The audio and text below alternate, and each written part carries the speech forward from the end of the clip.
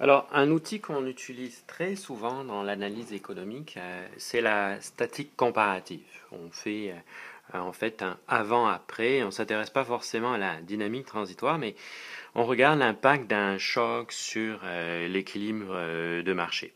Alors, comme j'ai deux courbes, la demande puis l'offre, puis que chacune peut augmenter ou diminuer, ben, euh, ça donne euh, euh, quatre cas de figure de base. Donc le cas où l'offre augmente ou diminue, la demande augmente ou diminue. Puis quatre cas de figure supplémentaires, le cas où on observe les chocs simultanés de demande et, d'offre. Alors, si on considère par exemple la situation où la demande augmente, ben, on sait que euh, on va se déplacer euh, ici euh, vers la droite. Et alors, il apparaît clairement qu'il y a un nouveau point d'intersection. Et à cet équilibre-là, le prix est supérieur à ce qu'on avait avant le choc de demande. Et les quantités transigées sont également supérieures. Alors, un autre cas de figure possible, c'est euh, cette fois-ci la situation où euh, la demande, au lieu d'augmenter, maintenant diminue. On peut parler par exemple d'un bien pour lequel il y a moins d'engouement de la part des consommateurs qui tombent en désuétude par exemple, et ainsi de suite. Alors, on va avoir là à nouveau un nouvel équilibre, et cette fois-ci, ben, il est dans le sens opposé de ce qu'on avait précédemment, c'est-à-dire que euh, les prix, euh, on peut prévoir qu'ils vont avoir tendance à diminuer dans, le temps, et que ben, c'est un marché où l'équilibre va euh, voir moins de transactions. Alors, l'autre possibilité, c'est qu'on observe plutôt des chocs du côté de l'offre. Donc, cette fois-ci, on va considérer que c'est plutôt euh, l'offre euh, qui varie. Alors pensez par exemple euh, au cas d'une innovation technologique. Hein, dans cette situation-là, il y a une expansion de l'offre. On se retrouve avec un nouveau prix d'équilibre qui est inférieur à ce qu'on avait précédemment. Et il y a également plus de transactions sur, sur le marché. Euh, il peut y avoir une situation inverse où euh, l'offre euh, diminue. ça peut être un changement de réglementation ou les mouvements sociaux, la syndicalisation, etc. Si on a cette baisse de l'offre, eh à ce moment-là, du fait de la rareté artificiellement créée, on va se retrouver avec un prix supérieur et des quantités transigées qui sont moindres.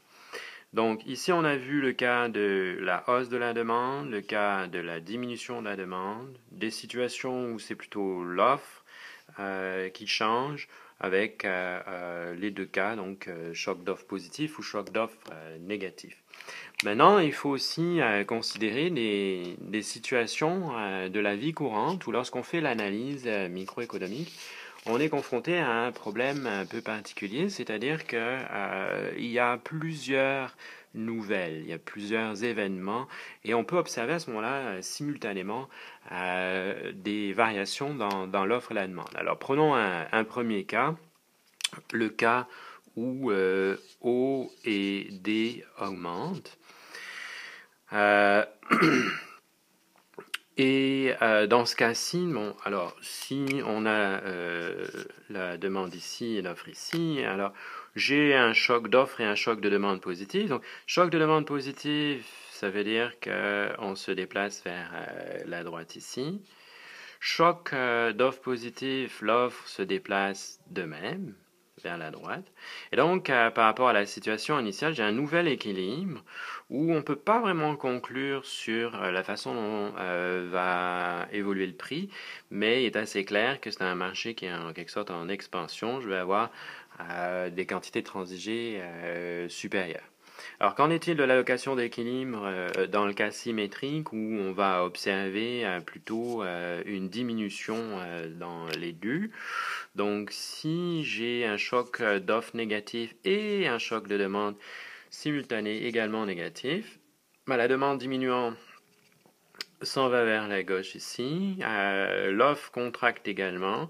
Donc, je vais avoir une nouvelle allocation d'équilibre où il peut se faire que le prix ne change pas, mais clairement, on va observer une baisse significative dans les quantités transigées.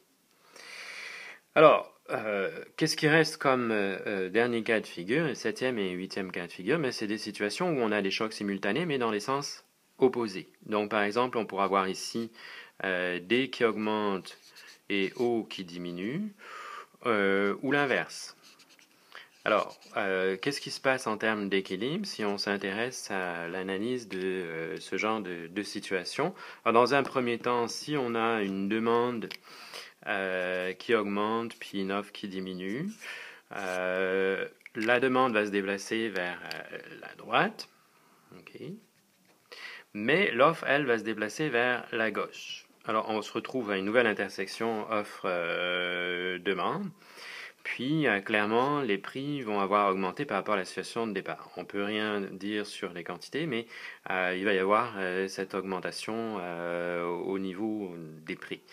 Euh, de façon symétrique, si euh, j'observe plutôt euh, une diminution de la demande, elle s'en va vers la gauche.